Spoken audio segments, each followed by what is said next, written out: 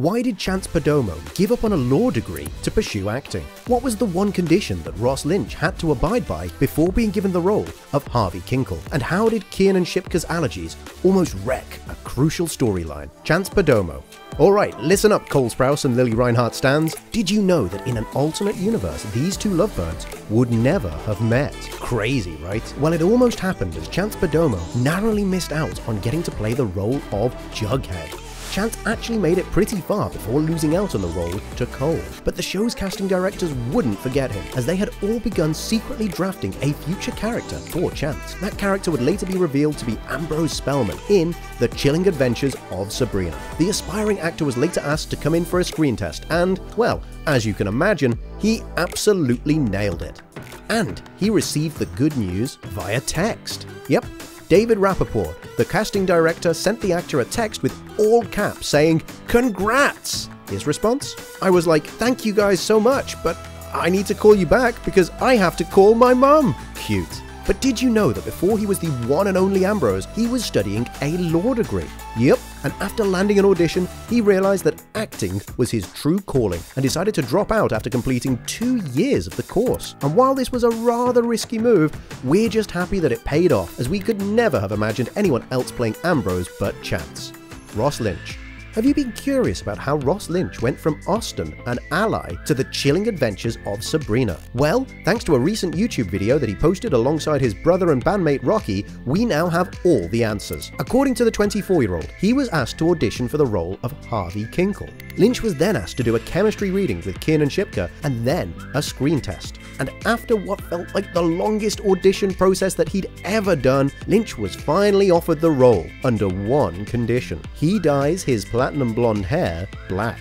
Producers wanted the actor to turn his hair darker so that it wouldn't look like Harvey and Sabrina's are siblings rather than love interests. But before he could commit to the new hairstyle and the role, Ross had to check in with his brother. Taking on the role meant more than donning uh, new black locks. He would have to step away from his music career with his brother Rocky in order to move to Vancouver for nine months to shoot the show. Obviously, his brother was incredibly supportive and encouraged Ross to take the role, and so the actor did.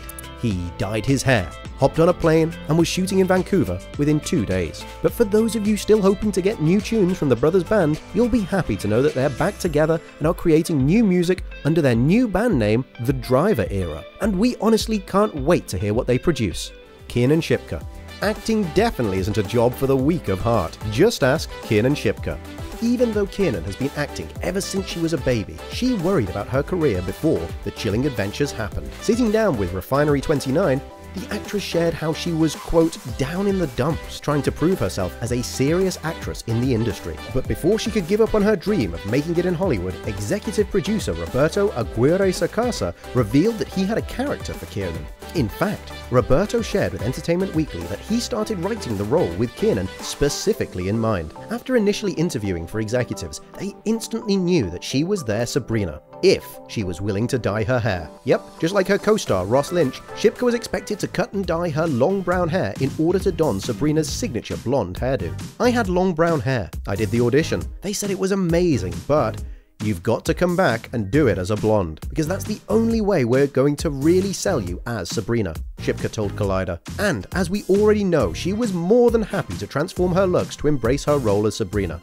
except for her character's love of cats. Did you know that Kiernan is seriously allergic to cats? Her allergic reaction even got to the point where Roberto briefly considered making Salem a dog. But that would have gone against the original series, so he decided that Salem would stay a black cat as it helped achieve the dark and broody aesthetic that the show is known for. Jazz Sinclair.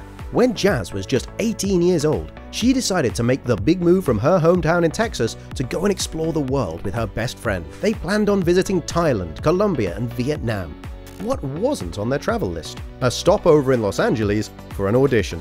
Within just a week, Jazz would be heading out to meet with the Warner Brothers executives and be reading for the role of Rosalind. In that time, this audition randomly came. I read it and thought, this is cool, she's a feminist, and I love witches. I went in with such a it attitude, probably because I was so fulfilled from travelling.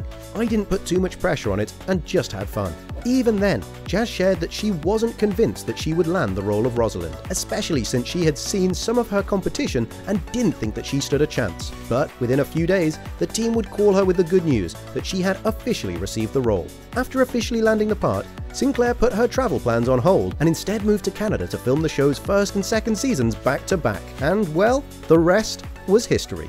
Lachlan Watson, portraying the much loved Susie Putnam, a sort of rough and tumble farm kid, 19 year old Lachlan, who identifies as non binary or genderqueer, got the role after producers of the show issued a nationwide casting call back in 2016. The show called for queer actors of any kind, as they hadn't fully developed Susie's character just yet. Lachlan said they were instantly drawn to the show, and even the character of Susie, as it was set in this fantastical world where there were no rules. You could be whomever you wanted to be and Lachlan loved that, especially given the fact that the show would tackle the complicated issues of teenage life, including gender identity. And so, Lachlan decided to submit an audition tape, reciting the lines of a very emotional monologue in which a character is coming out as trans.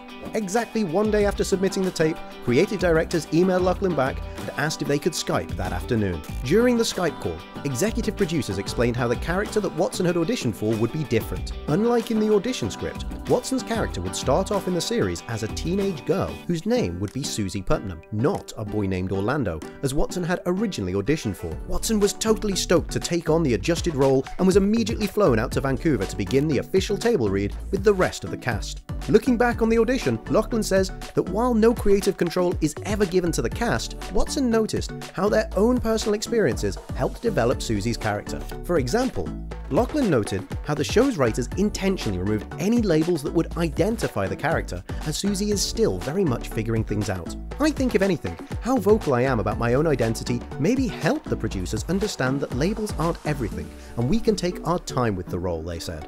And we couldn't be happier that more shows are embracing greater inclusivity and representation. Gavin Leatherwood, much like most aspiring actors, Gavin was totally pumped when he heard about the nationwide casting call for the role of Nicholas Scratch. But that wasn't exactly the role that producers had wanted him to read for. While we couldn't imagine this tall, dark, and handsome boy ever stepping into Ross's shoes, Gavin was originally meant to play the role of Harvey Kinkle. Whilst reading the lines for Harvey, Leatherwood admitted to feeling awkward, like the role just didn't suit him. So, when casting execs decided to let him read for Nicholas, he was relieved as he felt this character was more up his and we couldn't agree more. After a brief character switch, a new script, and an awesome audition, Leatherwood found out four days later that he would be playing Nicholas, a role that was clearly meant for him. But here's where things get hilarious. Gavin found out the news via an Instagram DM. Whilst many celebrities choose to ignore their DMs thanks to prying fans, Gavin happened to briefly skim through his hundreds of messages. And there it was a message from the show's producer David with the words, Congratulations in all caps. Looking back on the moment, Gavin often refers to receiving that DM as a very 2018 millennial way of doing things, and he absolutely loved it. But just to make sure that he didn't think he was being pranked, a few moments later, his manager called him and confirmed the good news. Now excuse us while we wait for an Instagram DM that changes our lives too. Tati Gabrielle. Now, we don't mean any disrespect to the other characters of Chilling Adventures of Sabrina, but Prudence Knight, who's played by none other than Tati Gabrielle, truly is the chicest witch at the Academy of Unseen Arts. It was as if she were born to take on this character, and fans just can't seem to get enough. But given the fact that Gabrielle's real life personality is very sweet and somewhat shy, producers actually asked her to read for Rosalind instead. But after watching her read for the role, the team later brought Gabrielle back to read for Prudence, which was an actual dream come true for the aspiring actress, as she had always wanted to escape her sweet girl charm. It was my first time at trying a more antagonistic or villainous role, and I had always said that it was my dream to play a villain, she said. And while all of the Weird Sisters have their distinct looks with a few matching black ensembles, Tati was going to bring her own love for fashion to her role. Did you know that Tati actually inspired Prudence's signature hairstyle? I came to my original audition with the finger waves. They liked it, and they decided to keep it, shared Gabrielle. Now, while Prudence and Tati may share a love for fashion and the iconic hairstyle, there is one thing they don't have in common the darker side of the show. According to reports, Tati was totally freaked out by the show's play on Satan. She even refused to say the words, Hail Satan, as a joke behind the scenes. Tati later even admitted to doing a nightly session where she rids herself of all the bad energies that she may have called on whilst using real pagan spells on the show. What are your thoughts on the show's use of pagan spells? And what did you think of the show's audition process? Let us know in the comment section below. Thanks for watching.